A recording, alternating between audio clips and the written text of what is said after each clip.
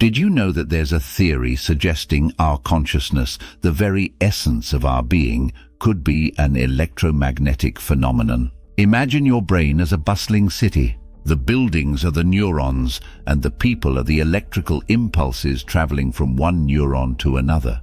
But there's more to this city than meets the eye. Just like how every city has an energy, an ambience that's more than just its physical components, our brains too have something similar an electromagnetic field.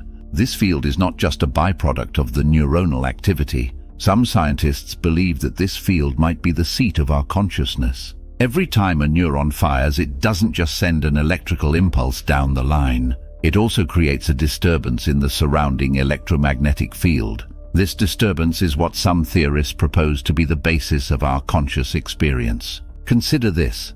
Studies have shown that conscious experience correlates not with the number of neurons firing, but with the synchrony of that firing. It's like a choir singing in harmony. Each voice alone is not enough to create the beautiful melody, but when they all come together, synchronized in perfect harmony, that's when the magic happens. This is what theorists believe happens in our brain. The synchronous firing of neurons amplifies the brain's electromagnetic field fluctuations to a much greater extent than would be possible with unsynchronized firing of neurons. But how does this field influence our brain activity?